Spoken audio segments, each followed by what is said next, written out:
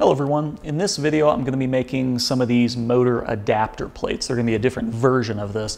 Normally I would 3D print this or use a laser cutter to cut them out of acrylic just to kind of test the fit, but for these purposes they absolutely need to be made out of metal.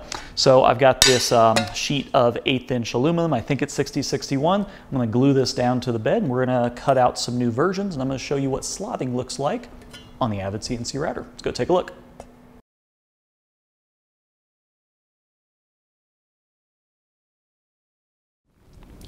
So let's first start out by looking at the actual part. Here it is. I'm not really going to go into too much of the design. So let's look at the job. And you can see I don't really have anything special for this. I just have the um, Z on top of the material.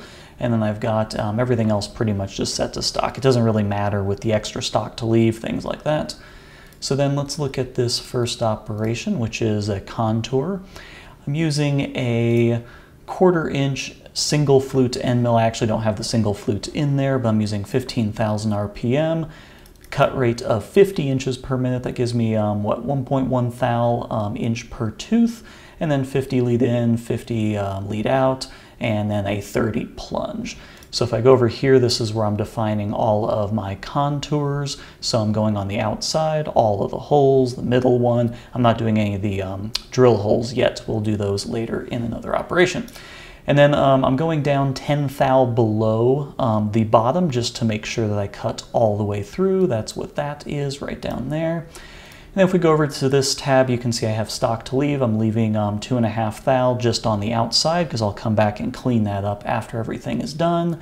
And then lastly, on this last tab, which is the linking tab, you can see that I have ramp selected. I've got a two degree ramp and I just left everything else as the defaults. So if we click OK, um, you can see that it is basically going to be ramping down into all of these contours and then going across. So if we do simulate, show stock, play, you can see exactly what's going on here. I'll speed it up a little bit. And no toolpath. So you see we're ramping down and then cutting the full profile. Pretty simple stuff. And this whole operation is about eh, two minutes or so. And then on the second contour, I basically just copied this one, pasted it into a new one. So I have all the um, same contours selected. I slowed this down just a tiny bit, 30 inch per minute feed rate. This is arbitrary. I'm just kind of going for a you know good surface finish. That's really the only reason for that. Um, still have the same negative 10 thou stock to leave or bottom contour, so it'll cut slightly below this bottom level and then no stock to leave because we're actually doing the finish contour, and then no ramping because that's not really necessary. So this one just simply goes around and cuts. So boom, cuts the outside, cuts the insides, and that is it. And this is only like eh, about a minute. And then after all this is said and done, we're gonna do the four mounting holes. For the tool, we're just using an eighth inch um, drill because well, that's just easy and I have a bunch of them. These are all just preset um, settings that were in here. I did change the plunge to 15 inches per minute, um, but the speed came up as the default. And then I have it drill through the bottom and I have an extra 10 thou. Um, the interesting thing about the break through the bottom is you got to put this as a positive number. If it's a negative, it will go above the hole. So kind of reverse from all the other conventions. And then I am using a partial retract. And the partial retract, let me show you what that looks like. It just kind of pecks inside the hole. So we go down, peck a little bit, come up. Eh, it's kind of hard to see. Let me play it. So it's going to kind of go down a little bit, come up, go down, come up, go down, and it just sits there and kind of pecks up and down inside the hole until it gets all the way through. And because the spindle has such a high RPM, you're going to want to use one of these um, pecking cycles. And it's just chip breaking, chip breaking partial retract is what I use, and I just use all the standard settings. So yeah, that's all there is to it. Let's um, get this mounted on the machine. For work holding, I'm using the good old classic painter's tape and super glue trick. Um, I just have a piece of MDF kind of clamped down to the front of the table. I just like using the front of the table because it's just closer. So I have that clamped down. I'm just covering it in some blue painter's tape. And then when I get that all nice and pretty and tidy, I'll do the same thing on the workpiece and then you slather some super glue in between them and that will hold it together. So you're using the adhesive on the painter's tape and the super glue as an adhesive and that kind of holds everything together. Now, pro tip, if you're doing this method, make sure you find your good bottle of super glue. I went through three different bottles of super glue before I found one that actually had something in it, wasn't all crusted up. So just, you know, a little tip to remember. I used a 1, 2, 3 block to set the Z height. The X and the Y coordinates really don't matter that much. I just need to make sure that I'm cutting on the actual aluminum, but there's no real centering or indicating that needs to happen. So that's all pretty easy. So unfortunately, these cuts are not gonna look all that interesting because I've got the dust shoe on there. I always use the dust shoe because this thing will throw metal chips 10, 20 feet in every direction and I will be cleaning them up for months.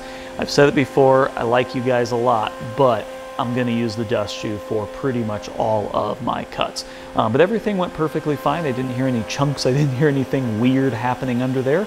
Um, it just cut without an issue and it was over in a couple minutes.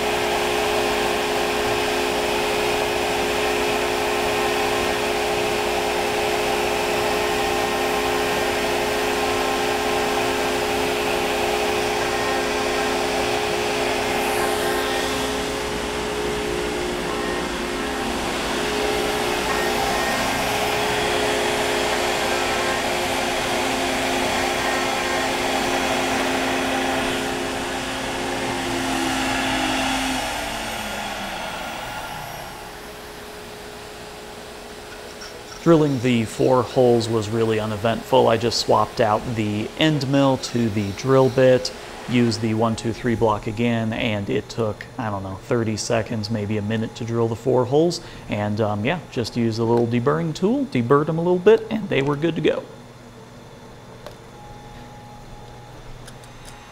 For oddly shaped parts like this, it can be a little tricky to actually remove it from the tape but thankfully heat gun works out pretty well. Just heat it a little bit, the adhesive will soften quite a bit, and then you can just pry it right off. This is something to keep in mind when using this work holding method though. If you impart too much heat on the thing that you're cutting, it will start to loosen all on its own and that is a bad time.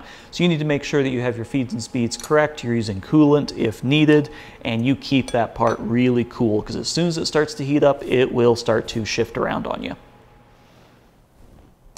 And here are the two finished mounts. Um, edge quality is good, um, as you would expect from a CNC router. Nothing too crazy, but really nice nonetheless.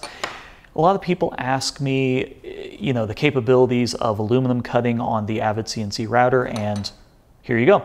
Uh, this is a great application. This is where the machine is really going to excel and do a great job. These parts took about three minutes to make. Obviously I had to make the video and set everything up, blah, blah, blah. But the actual cutting time was only about three minutes. You could probably do two of them in like five, six minutes, something like that. So this is pretty rapid prototyping. This is about as quick as um, setting up the laser cutter and um, cutting these out of acrylic. So overall pretty happy with the machine for this type of an application.